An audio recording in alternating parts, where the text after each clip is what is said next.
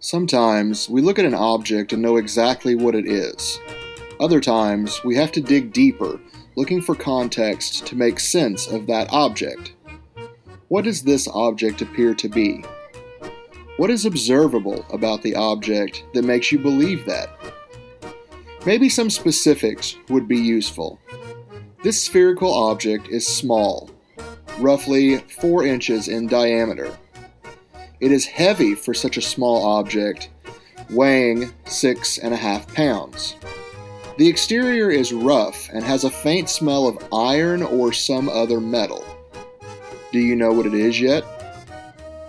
This object was found by metal detector in a town called Pilot Knob in southeastern Missouri.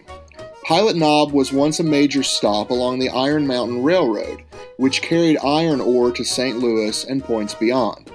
It is also home to Fort Davidson, a Civil War era earth fort which saw action during General Sterling Price's desperate 1864 raid, during which he tried capturing Missouri for the Confederacy one final time.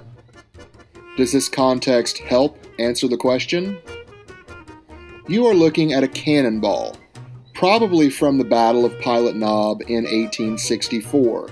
It was recovered from the battlefield before metal detecting became illegal on state park lands. Was your first assumption correct?